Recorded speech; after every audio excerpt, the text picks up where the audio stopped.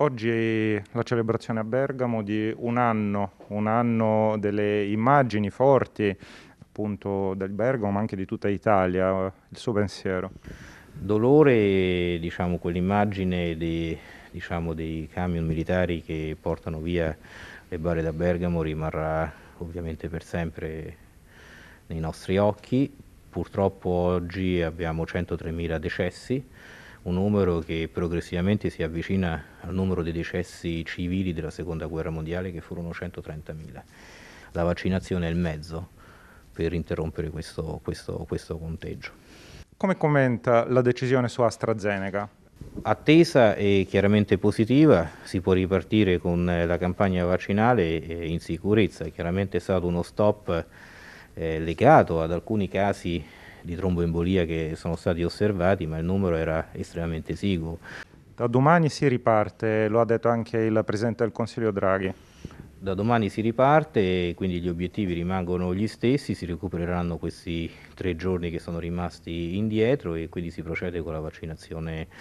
Eh, è evidente che la comunicazione intorno a AstraZeneca sia partita male fin da subito, eh, fin da quando diciamo, si parlava della metà dose anziché una dose intera e poi successivamente l'età il limite di età che fu messo per AstraZeneca, che magari fu messo sicuramente per la massima precauzione, però ha creato confusione, anche creando un doppio binario di vaccinazioni. Ora dobbiamo far recuperare la fiducia in questo vaccino. Io, molti mi chiedono, anche familiari persone che erano in lista per il vaccino, dice ma tu lo faresti? Io direi sì, dico sì, e anzi direi che se fosse disponibile la prima dose la farei eh, senza saltare lista d'attesa o quant'altro, ma la farei da subito proprio per dare un segnale di, di, sicurezza nei confronti di un vaccino che è sicuro ed efficace. Dobbiamo aspettare per Sputnik l'autorizzazione dell'ente regolatorio.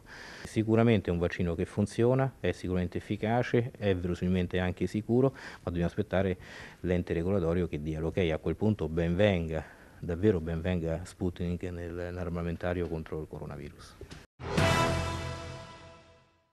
Entrambi questi comitati dell'Agenzia Europea del Farmaco hanno valutato che sulla scorta delle informazioni disponibili che fanno riferimento a 20 milioni di di persone che sono state vaccinate col vaccino AstraZeneca nel Regno Unito e nella uh, Unione Europea non ci sono evidenze che la vaccinazione incrementi il rischio di complicanze tromboemboliche. Sappiamo che dobbiamo probabilmente non solo riprendere quel numero di vaccinazioni al giorno, quindi eravamo arrivati a 200.000 al giorno, ma raddoppiare, se possibile, eh, il, il, ritmo, per cui è chiaro che questa revoca della sospensione eh, del vaccino non può che, eh,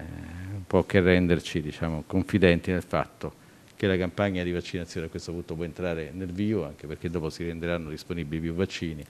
Noi sappiamo che probabilmente intorno a metà aprile anche un quarto vaccino si renderà, eh, si renderà disponibile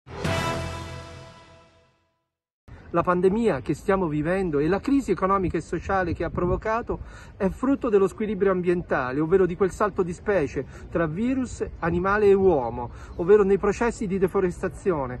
Ecco perché i for Future che scendono oggi in piazza ricordano alla politica da un lato l'ipocrisia delle certe scelte politiche e dall'altra la necessità e l'urgenza di dare risposte.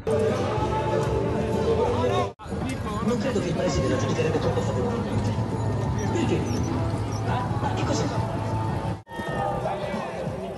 Siamo davanti ai principali responsabili di come siamo ridotti oggi, al fatto che tutto in questo mondo è subordinato a una cosa, ai soldi e chi li ha può decidere tutto, anche decidere la vita e la morte di intere popolazioni, di interi paesi, di interi continenti.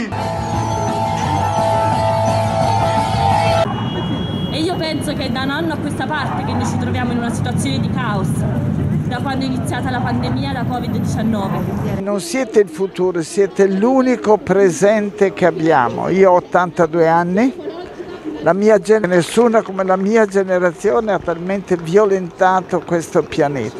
A questi ragazzi noi consegniamo un mondo malato